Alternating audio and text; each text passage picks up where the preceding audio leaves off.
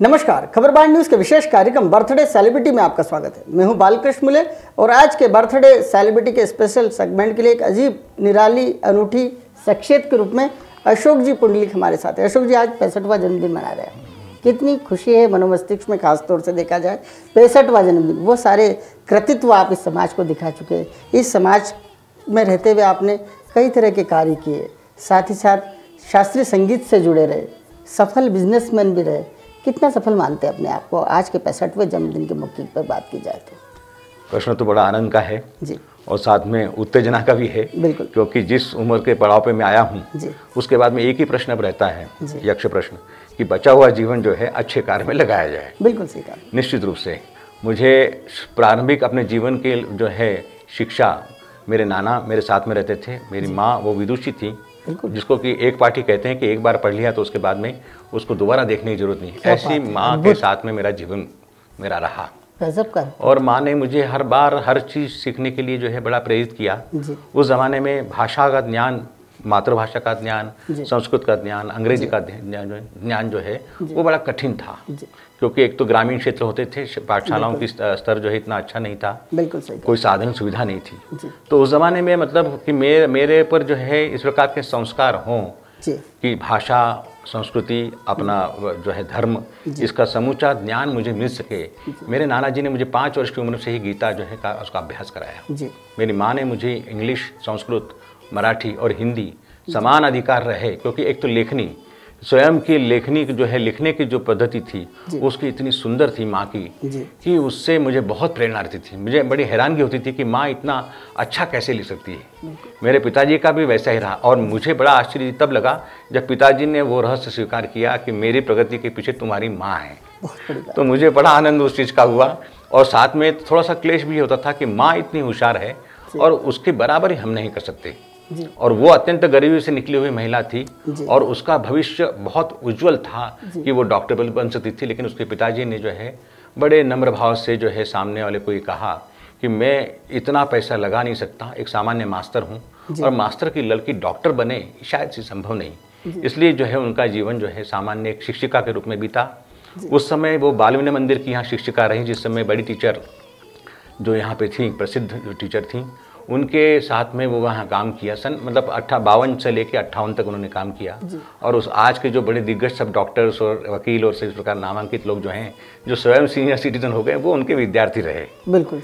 तो ऐसा मेरा वो जीवन रहा। क्या अद्भुत जीवन है और मुझे तो आपने जैसे ही माँ के बारे में बताया और ये कहा कि एक पठनी मतलब एक बार किसी लाइनों को पढ़ ले किसी शास्त्र को पढ़ ले किसी बुक को पढ़ ले तो उन्हें याद रह जाए और ऐसी शख्सियत का कई ऊंचाइयों तक पहुँचना मुमकिन था। लेकिन कहीं ना कहीं यही कहे कि पिता ने कहा है कि एक मास्टर की बेटी डॉक्टर बने ये संभव अभी नहीं हो सकता।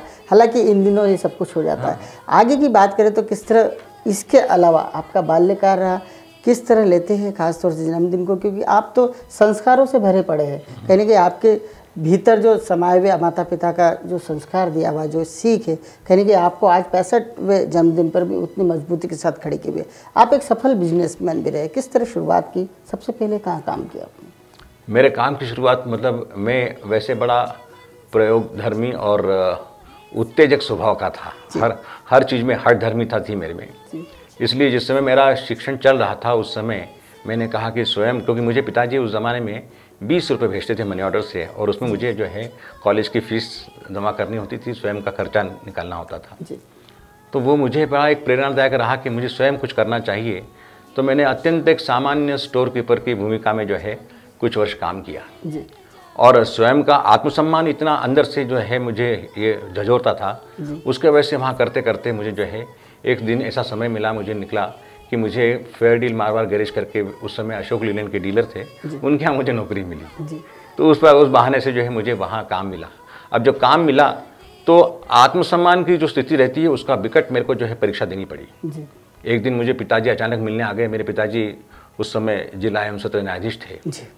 तो वो एक अभिमान मेरे साथ में डोल रहा था कि मैं एक जज का पुत्र हूँ। और पिताजी जब मुझे मिलने आए उस समय वहाँ हमारे जो डीलर थे मारवाड़ी डीलर थे उन्होंने मुझे आरटीओ भेजा कि जाओ वहाँ पे जाके जो है काम करके आओ।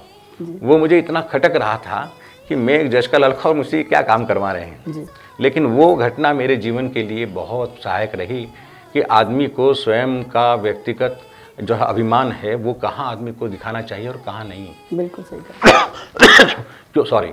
तो जीवन में ऐसे कई उदाहरण आते हैं जिस समय आपको नम्रता का उदाहरण देना पड़ता है। उसका एक प्रमाण था क्योंकि मैं इसलिए बता रहा हूँ कि अनेक वर्षों के बाद में जो है जब मैं अधिकारी बना नौकरी में कंपनी में जब लगा और मैं उस समय जब विमान से प्रवास कर रहा था तो मेरा रिप्रेजेंटेटिव था वो मुझसे मेरे पास में बैठा हुआ था। उतने में यही कंपनी के जो डायरेक्टर थे वो वहाँ पे आए।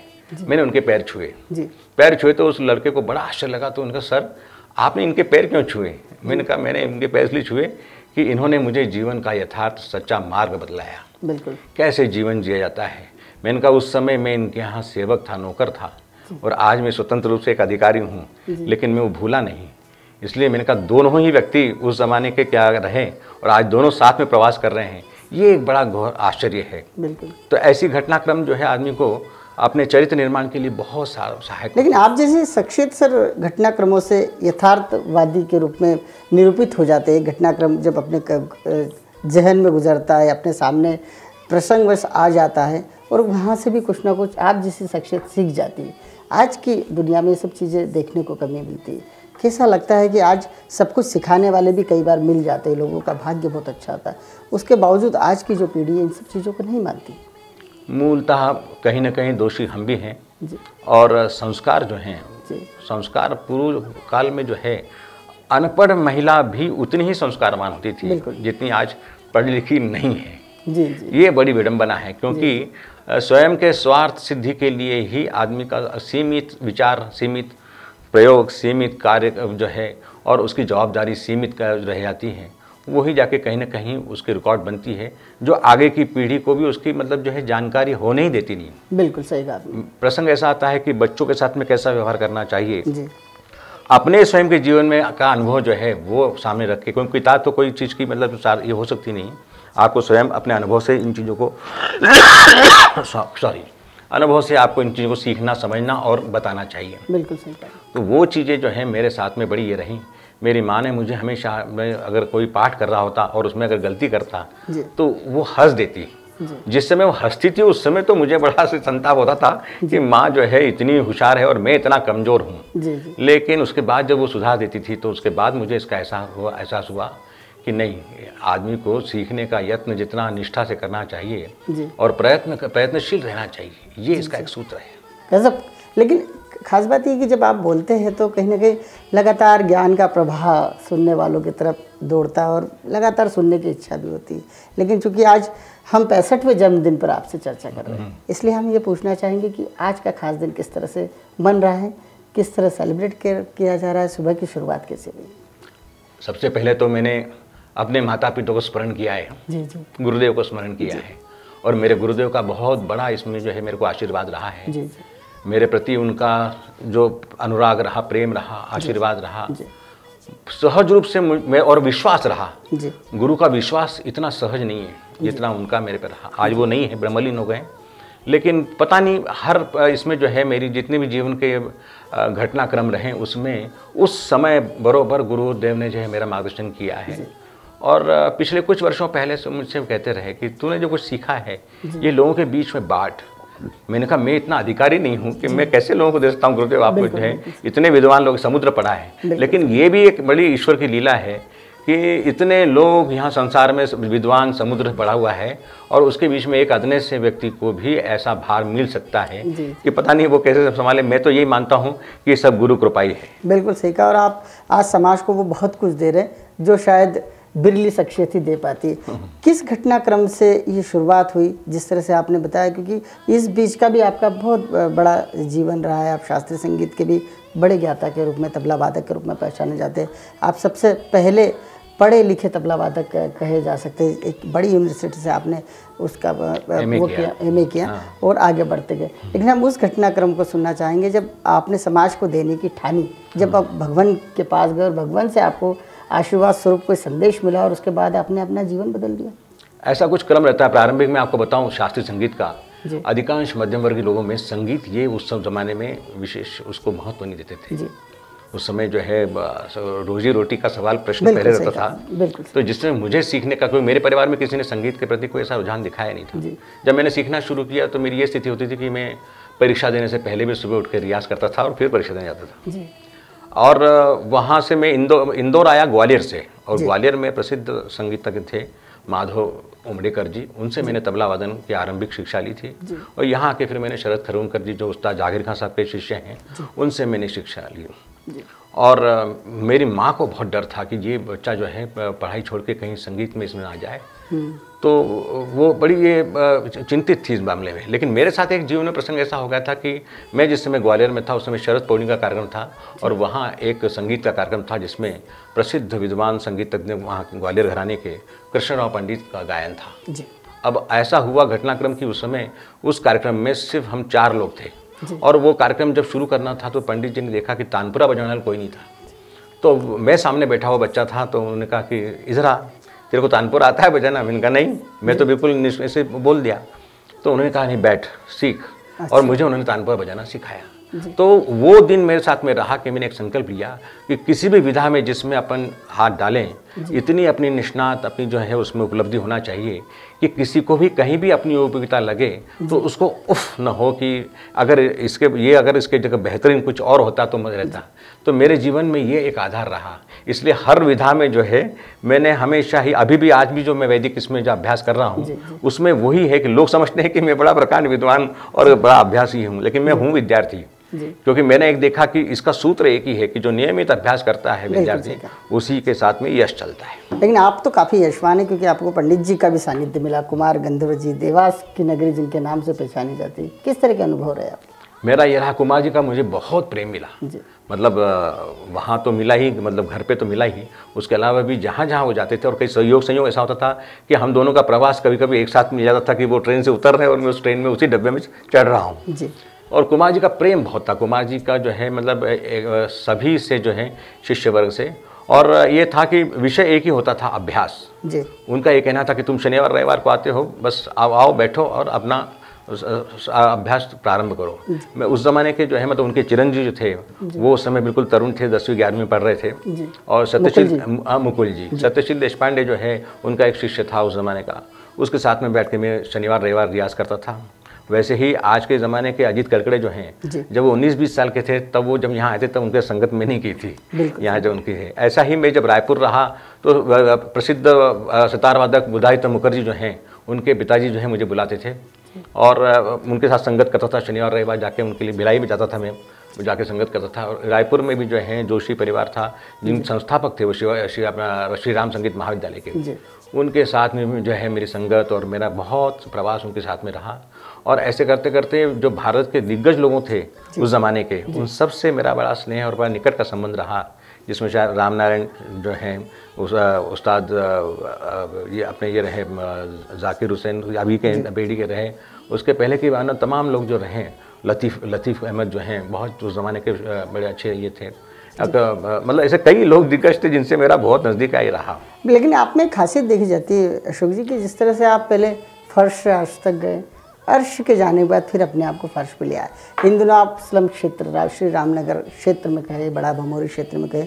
माँ तुलजा भवानी मंदिर में छोटे छोटे नन्हे मुन्ने बालकों को कहीं ना कहीं वेदांत की शिक्षा देते सुने जाते हैं। मंत्र उच्चार किस तरह से किए जाए उनकी बारीकियाँ क्या है? ये शुरुआत कहाँ कैसे कब से हुई किस तरह का नवाचार था आपकी ज़िंदगी में? एक तो चिंतन जो मन का रहा कि हिंदू समाज जो है उसकी परंपरा और उसकी जो पूजा पद्धति सभी प्रश्न जो हैं इन चीज़ों को देखें तो हर घर में आ, लोग श्रद्धावान तो हैं लेकिन आ, सीखने की प्रवृत्ति नहीं है और वो संस्कार जो है जो माता पिता से आना चाहिए वो उनमें ही न होने से कहीं तो भी कुछ कमी दिखाई देती है। तो मुझे वो बार बार खटक रहा था और जिन्हें हम सो काल हिंदू कहते हैं कि जो ब्राह्मण हैं उन परिवारों में तो बड़ी विडंबना है कि जो है आज आज के पीढ़ी के जो लोग हैं वो उनका विरोधाभास बहुत ज़्यादा तीव्र है। मतलब वो जिस चीज़ को वो पसंद न करें वो स्पष्ट कहेंगे कि जो आपको करना है वो आप कीजिए हमें जो करना है हम करेंगे। ऐसे इसमें मेरे को एक पीड़ा थी मन में कि कैसे मतलब ये हो? और वो अचानक ईश्वर की बड़ी कृपा रही कि मेरे को जो है माँ तुलजा भवानी जो है उसने मुझे ये प्रेरणा दी और मुझे वहाँ बुलाया। खास बात तो ये है कि खाली बुलाने से कुछ नहीं होता। वहाँ उस समाज के जो लोग हैं उनकी श्रद्धा उनकी भक्ति उनका समर्पण उनकी मेहनत उसको सलाम है। कि जो है रामनगर के बच्चे रामनगर की महिलाएँ रामनगर के पुरुष इतने भावुक और ये भक्तिमय हैं कि मैं थोड़ा कड़वा हूँ बोलने में। जबकि क्योंकि उच्चारण की दृष्टि से आपका पूर्व शिक्षण उतना होना चाहिए कि आपको अच्छा हिंदी आता हो संस्कृत आता हो मराठी आता हो। लेकिन इन मामले में वो सब दुर्बल थे। मुझे इतनी कठिनाई गई कि एक शब्द का उच्चारण स्पष्ट करने के लिए मेरे को बार बार बार बार बिल्कुल जो है वो घिसना पड़ता था लेकिन उन लोगों ने भी कहीं हार नहीं मानी। बिल्कुल। मेरी जीवन की शुरुआत वहाँ से हुई। आपका भाषी ज्ञान भी काफ़ी सशक्त माना जाता है। कितनी भाषाओं का ज्ञान है आपको? ईश्वर की कृपा ये रही कि मैं जिस प्रांत में अगर पहुँच जाऊँ तो वहाँ की स्थानीय भाषा जो का जो है ज्ञान जो है मुझे तुरंत हुआ था जिस समय मैं आपको बताऊँ कि मेरा स्थानांतर बिहार में हुआ। और मैं मुझे मालूम नहीं था कि बिहार में मुझे पटना जाना कैसे किस जगह से। तो मैं वहाँ रांची निकला। और वहाँ पहुँचा तो मुझे पहले ही दिन मतलब सामान रखा नहीं था मैंने। और मुझे उन्होंने अधिकारी ने कहा कि आपको जो है यहाँ पे सोनपुर करके जगह है जहाँ मेला लगता है वहाँ आपको जाना है और वहाँ आपको बीस दिन रहना है। अब मैं उस मेले में गया तो वो सारे मतलब जो है वो जानवरों का मेला रहता है खास करके सोनपुर का। और वहाँ सारे ही जो है वो ग्रामीण लोग रहते हैं। अब आप सोचिए कि मैं हिंदी भाषी यहाँ का मालवा का व्यक्ति और वहाँ भोजपुरी बोलना। तीसरे दिन से मेरी जो है सारा रहन सहन मेरी वेशभूषा से लेके मैं सब भोजपुरी जो है उस नुमा जो है वहाँ बैठा। मतलब मालवी बाबू का भोजपुरी बाबू बन गया भोजपुरी बाबू बन गया। और जब मैं बात उनसे करने लगा तो उनको ये महसूस ही नहीं हुआ कि ये आदमी जो है भाग हुआ यूँ कि मैं वहाँ का जब अधिकारी बना तो टायर जो है जाँच करना ये पास करना फेल करना मेरा काम था। तो वहाँ के स्थानीय जो गुंडे कुछ रहे होंगे जो पूर्व में कुछ उन्होंने ऐसा प्रभाव दिखाया होगा वो व्यक्ति एक दिन मेरे यहाँ आके मेरे टेबल पर उसने रिवॉल्व रख दिया और मुझसे बोला कि आपको मालूम नहीं पहले क्या होता था आपको जो है टायर पास करना होगा। अब जब मैंने कहा कि रहुआ जाना तो नहीं हम भी यहीं के बाहर जी। तो वो एकदम से उसको जो है कभी आपने एक्टिंग के बारे में सोचा? नहीं नहीं कभी? नहीं नहीं चलिए आज चूँकि आप कदम ताल कर रहे लगातार आज पैंसठवा जन्मदिन है आपका हम्म। जितने खुश मिजाज आप नज़र आ रहे हैं आज जिस तरह से खेल खिला रहे हैं हर व्यक्ति के जीवन में इतनी खुशी होनी चाहिए। कौन से वो मूल मंत्र है जो कि आप जैसी शख्सियत आज के युवा अपने आप को बना सके सफलतम जीवन जी सके।